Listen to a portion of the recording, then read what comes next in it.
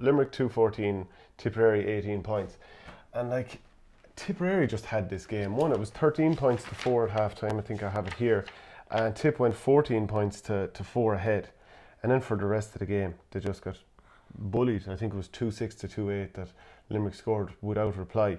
Uh, You have the uh, a kind of feeling that this mightn't be a bad thing for Tipperary to lose this game. No, I actually think it's it's a great thing. It's from the position that we're in. It's it's not great on the surface, but.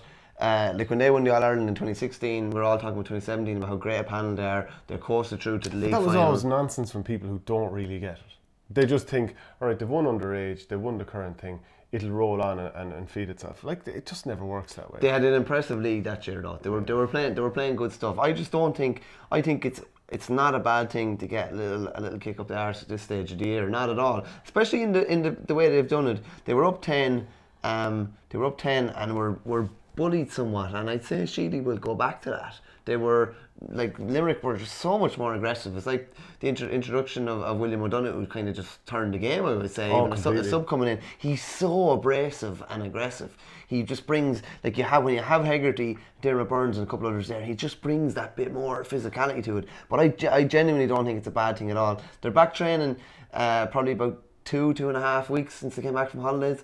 Sometimes uh, things can be a bit false. If they'd gotten a win, just say they'd won, just say it was a draw match in the second half Yeah. and they'd won by nine points.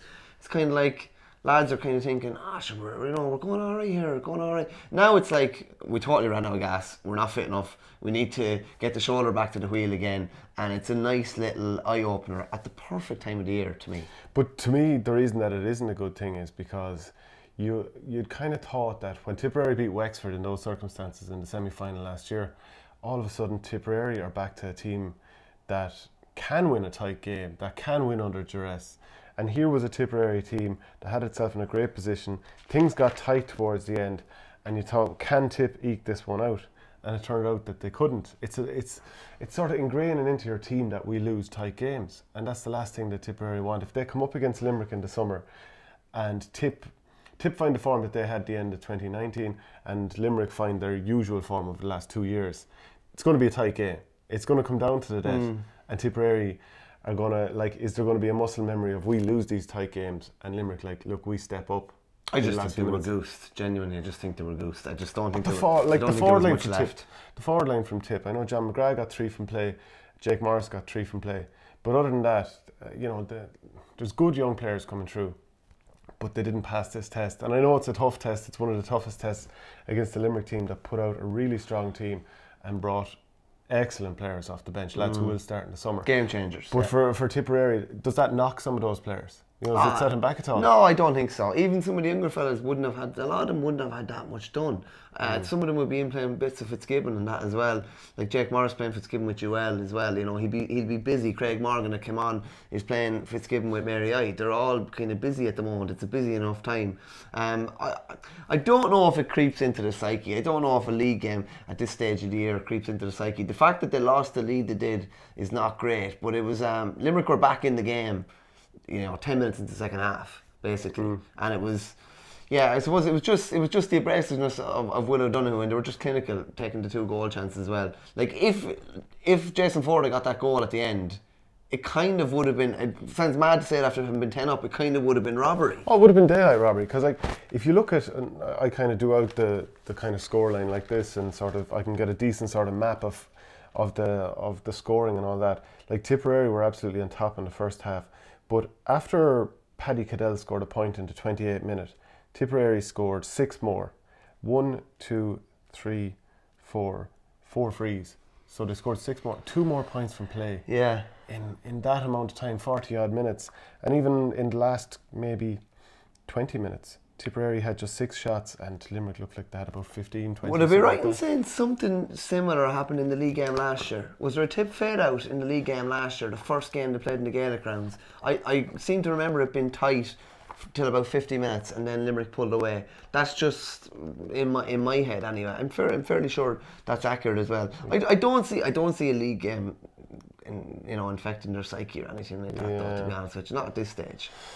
But, like, for Limerick, do you think that they kind of feel like we need to wash away what happened in 2019, the way we had a bit of a non-start and a non-start in this game also. The way we had a bit of a non-start against Kilkenny, went one eight two behind.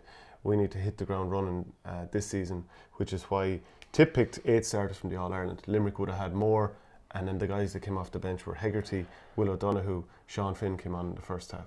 So do you think for Limerick they're just trying to set down a marker straight away and wash away what happened last year? Hundred percent, yeah. Like it- that's, So the game mattered more to. Limerick than Tip. Oh, 100 percent, yeah. That that's that that feeds into why that feeds into why I think it's um it's not that big of a deal for Tipperary. Were, were Tipperary eyeing this game? Not at all. Were Limerick eyeing this game? Somewhat.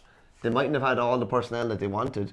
Um, playing, but I think, and they were given some opportunities, but they were definitely eyeing this game more than uh, Tipperary. It's more, it was more of a necessity for Limerick to get a win. If Limerick had been beaten, and just say they, you know, beaten in one of their next two games as well. It's just like, you know, what's going on in Limerick? There's a bit of a mm. hangover. Now they're after coming from ten points down against the All Ireland champions, and they're in a lovely position for the rest of the league. Do you do you subscribe to this idea that Tipperary have a psychological issue with Limerick? That was discussed on the Sunday game, and it seemed to be the kind of consensus was that Tipperary do have an issue with Limerick now at this stage. I wouldn't subscribe to that to be honest with you. Mm. The take the Munster final was was the only game, and like that was that there was diff, there were circumstances coming into that. They were obviously missing Cathal Barrett and they were they were missing Bonner Maher from the previous game, which they played them either either a week or two weeks previous. If they if they'd met again last year, it would have been it would have been a lot tighter. I just think I I just think I don't think it's a psychological thing. I just think. Limerick are a bit better than Tip. That's that's all. In I an think. overall sense? Yeah, I just think they're a bit better. That's all. And if you let's let's dismiss the group game from Munster last year when Tipperary beat Limerick because Limerick put out a bit of a shadow side and Tipperary went uh, all guns blazing to win this game. Ended up losing Barrett, ended up losing Bonner out of it. Tipperary were beaten badly in the Gaelic grounds in Munster the year before. Absolutely pasted in the Munster final in the Gaelic grounds last year. I don't know if, if Liam Sheedy would have been happy to go in and, and lose this game, especially on a fade out too, because Limerick probably feel in their dressing room, we're actually the men of the scenario here. And when we put The it up men are here. yeah. and when we put it up to Tipperary, they're not able for, not able for it. I think that's a great position for Liam Sheedy to have for the rest of the season. I really do. Yeah, They're all Ireland champions and they have a big point to prove. Mm. I that's the way I'd be looking at it. Definitely. Thanks for watching our game. Don't forget to like and share the videos, and if you're new to the channel, hit subscribe.